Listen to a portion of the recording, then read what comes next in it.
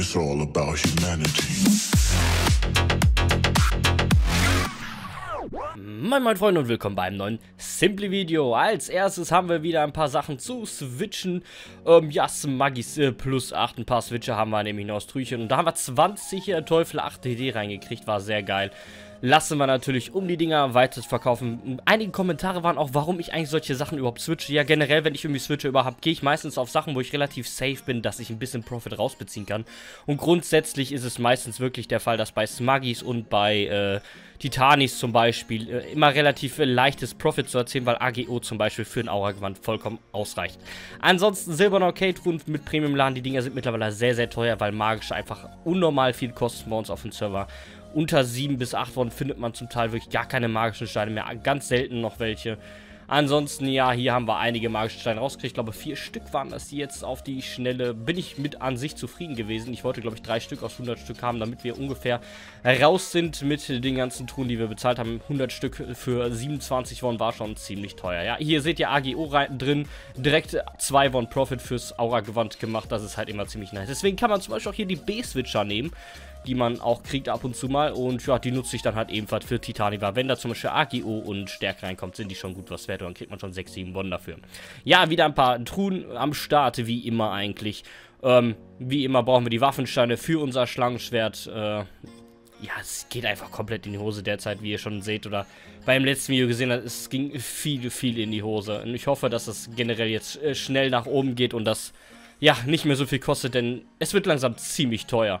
Ja, einige Hydratruhen haben wir auch aufgemacht, damit wir mehr magische Steine kriegen, weil die silbernen Okay-Truhen waren auch nur noch begrenzt da gefühlt. Jetzt kosten die Dinger schon über 35 KK pro. Das wollte ich mir dann doch nicht mehr geben. Dann habe ich mich mal wieder an Hydratruhen gewagt, habe direkt am Anfang magischen Steine gekriegt. Einige Exos sind es dann auch noch geworden und mit den Truhen war ich auf jeden Fall mehr als zufrieden. Ja, dann wieder ein paar Switcherline, beziehungsweise ein Switcher auf dem Titani. Ja, was halt äh, so lala geworden ist, würde ich jetzt einfach mal sagen. Eigentlich kompletter Müll. Naja, 10 Halbmenschen, ne? Wenn das jetzt AGO drauf gewesen wäre, wäre schön gewesen. Dann haben wir einige Abversuche auf Klinschuhe gehabt. Die sind nicht von mir als Hinweis. Ich habe nur die Schmiede zur Verfügung gestellt für 2 Won pro. Und ja, da versuchen wir mal eben geschmeidig die Quidin auf 9 zu haben. Leider die ersten zwei Versuche fehlgeschlagen, aber wir haben hier noch ein paar. Er hat die Schuhe mal plus 8 und ich versuche die auf 9, weil ja, er hat keine Schmiede gehabt. Da machen wir es halt so. Der vierte Versuch hat dann auch fehlgeschlagen. Also, ja, derzeit ab ist wohl nicht so mein Fall, habe ich das Gefühl. Aber wir fassen uns dennoch weiter. Wieder fehlgeschlagen. Ein paar kriegen wir in die Video aber auf 9. Das verspreche ich oder ich hoffe es. Nächste Fail, mein Gott, äh, jetzt aber der nächste, komm, bitte, der siebte ist auch fehlgeschlagen, also das tut schon ziemlich weh bei Schmiedehandbüchern, dass das so oft fehlsteht, gefühlt gar keinen Profit mehr daraus geholt und wieder Fail, naja, was soll ich machen, tut mir leid, dass ich dir da so reingeschissen habe, wortwörtlich. Ja, der nächste Versuch, der hat dann auch fehlgeschlagen. Jetzt bin ich wirklich sprachlos und ich wusste gar nicht, dass es so viele Clips hintereinander waren. Also das waren echt so viele Versuche. Mein Gott, ey, das tut mir aber verdammt leid, umso länger ich da zuschaue. Naja, dann haben wir einen Helm für einen anderen Kollegen gehabt. Der musste auch auf 9 und ich hoffe, dass ich da ein bisschen mehr Glück gehabt habe. Oder ihr werdet jetzt gleich sehen. Der zweite Versuch beim Helm hat dann Gott sei Dank geklappt. Also da haben wir ein bisschen Glück dann doch mal gehabt, dass mal was klappt. Und ja, damit ist er dann besser rausgekommen am Ende aus der Geschichte. Und einen Switcher haben wir dann auch noch draufgezogen. Dann Titani wieder ein Switcher dort drauf, wieder nichts. Und ja, die Switcher kriege ich meistens immer aus den ganzen anderen Sachen raus, wie die äh, Belohnungstruhen von den Sogmar-Invasionen. Ja, hier seht ihr den kleinen Mento-Clip, fand ich lustig, da haben sich so einige Map 1 aufgestellt. Und naja, ich bin halt nicht so ein netter Dude, ne? Da muss ich halt einfach mal reinkloppen, ein bisschen auch Spaß. Und ich habe ja versprochen, wenn jetzt mein Char Level 30 ist, werde ich mal ab und zu ein bisschen was machen. Und das hat sich so schön ergeben und ich konnte einfach nicht widerstehen. Es tut mir leid an jeden, der das sich versammelt hat, wirklich. Aber es war einfach so wunderschön, da konnte ich einfach nicht widerstehen. Tut mir leid, wirklich an jeden Einzelnen. Aber naja, was sei es drum, ein bisschen Spaß muss halt auch mal sein. Und ich hoffe, ja, keiner hat sich zu stark bedroht gefühlt oder so. Ein Switcher AGO stärker reingekriegt, das meinte ich. Fünf Folgen ging das Schild am Ende weg, bin ich zufrieden. Dann haben wir magische Angriffswert in den Helm reingekriegt für Krieger. Super toll. Der Boni ist ja mittlerweile gefixt, was verwunderlich ist, aber ja, super toll, in einen Kriegerhelm sowas reinzukriegen. Die Waffe muss ja auch noch hoch auf 13. Ihr habt ja schon gehört im letzten Video, dass sie auf 14 gegangen ist. Das wollte ich euch natürlich dann jetzt hier in den Videos dann noch nachholen. Das wollte ich nachholen, habe ich mich versprochen. Ist ja auch wurscht. Das Ganze wollte ich auf jeden Fall noch nachholen und euch zeigen in dem Video, wie das Ding auf 14 ging. Das kommt dann gleich. Hier haben wir noch 35 RW in unser PvP-Armband gedreht, was sehr nice ist mit 350 TP. Mehr wollte ich eigentlich schon gar nicht. Dann, ja, das Ding wird am Ende, ja, genutzt. Klar, mein Gott, Simply, was ist los mit dir? Ja, das Titani, was ihr hier gerade seht, das ähm, wird am Ende in meinem Auragewand getan, sobald äh, ja, das Item mal existiert, womit man dann die Items aus dem Auragewand rauspacken kann. Denn dann habe ich den Max-Blockenwert. 6 siebte funktioniert anscheinend nicht. Also als Hinweis, wenn ihr 6 siebte ein Auragewand mit 1% auf den ersten zugefügten Boden das ablocken, das funktioniert nicht als Hinweis. Hier nochmal ein Schwert fehlgeschlagen. Wie gesagt, das sind 60 Won pro Try. 60 Won pro Try. Das müsst ihr euch da mal vorstellen. Insgesamt waren wir am Ende bei 54 äh, Versuchen auf plus 14, was äh, sehr, sehr schmerzhaft. Alleine für plus 14 alleine haben wir über 3000 Wonnen ausgegeben, nur damit das Ding eine Stufe nach oben geht. Also das war mit einer der schmerzhaftesten Sachen, die ich bis jetzt in Mädchen 2 durchgemacht habe.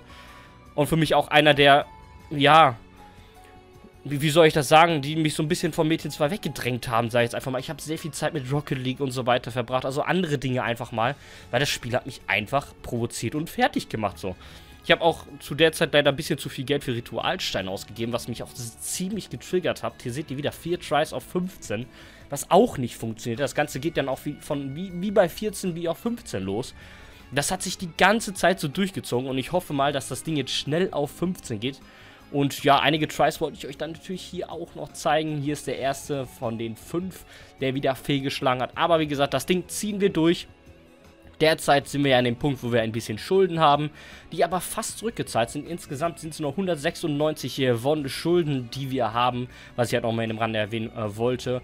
Also eine Person ist komplett weg, die erste haben wir schon mal ein bisschen gegeben, aber da wir ja Champions Level 30 sind, haben wir halt bessere Fahrmöglichkeiten. Ja, 10 Versuche, jetzt nochmal hier geschmeidig auf die äh, Waffe knallen.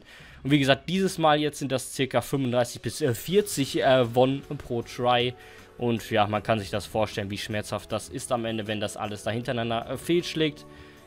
Obwohl, man kann sich das, glaube ich, fast gar nicht vorstellen, wenn man so eine Scheiße nicht durchmacht und sein IQ gefühlt 50 Won wert ist. Also, ich... Man, manchmal denke ich mir, warum bin ich eigentlich nicht im Low-Level geblieben, um einfach sowas... Ja, es tut halt einfach verdammt weh, wenn man das einfach davon fliegen sieht. Wenn man kein Won vor allem mehr hat, an dem Punkt ist, wo man einfach selber farmen muss, wortwörtlich. Das kenne ich eigentlich gar nicht, weil ich ja meistens immer so viel Won besessen habe, dass ich, dass ich nicht mehr wusste, wohin. Deswegen habe ich ja so viel Alti gehabt, habe das gemacht, habe das gemacht, was ich halt euch an Content ge gegeben habe, was ich jetzt nicht mehr machen kann, weil ich halt zu viel in die Waffe gesteckt habe. Aber ich wollte das Ding einfach auf 15 haben. Was man aber auch nachvollziehen kann, denke ich mal. Man möchte schon etwas erreichen, man möchte selber was machen und wie will man es sonst machen, wenn man es sich einfach probiert? Und naja, kann ja keiner wissen. Es hätte ja auch nach einem zweiten Try auf 15 gehen können, was jetzt nicht der Fall ist, wie ihr hier seht. Es schlägt Fail, es schlägt wieder Fail. Jetzt hier wieder vier Versuche draufgeknallt und hier sind wieder beim letzten davon. Und naja, was erwartet ihr? Schlägt natürlich auch wieder Fail. Die, die Chance muss gefühlt bei 5% liegen oder sowas, wenn nicht drunter. Ein bisschen gegen die Wand gelaufen bringt das ja Glück oder sonstiges, aber naja, man versucht trotzdem das Ganze, aber wie ihr seht, es, es tut einfach nur noch weh und ja. Als Entschuldigung könnt ihr vielleicht über meinen Link in der Beschreibung euch registrieren oder sonstiges. Dann unterstützt ihr mich ein bisschen bei den Uptries. Dann kann ich mir Ritus dafür kaufen oder sowas. Was weiß ich. Ach Gott, das tut so weh. Das sind wieder hier im Übrigen, ja, 2400 DR, die hier verpulvert werden. Für die Ritualsteine wieder drei Stück am Start gewesen. Aber das Ganze wollte einfach nicht hoch. Wieder drei Stück, wieder 2400 DR. Nur an Ritualsteinen. Damit ihr das Ganze auch nachvollziehen könnt, was das Ganze eigentlich hier kostet, wollte ich euch das einfach zeigen. Also viele sagen auch, ja, zeigt doch nicht immer die Uptries, die fehlschlagen. Auf die Dauer ist das ziemlich langweilig. Doch, ich zeige sie.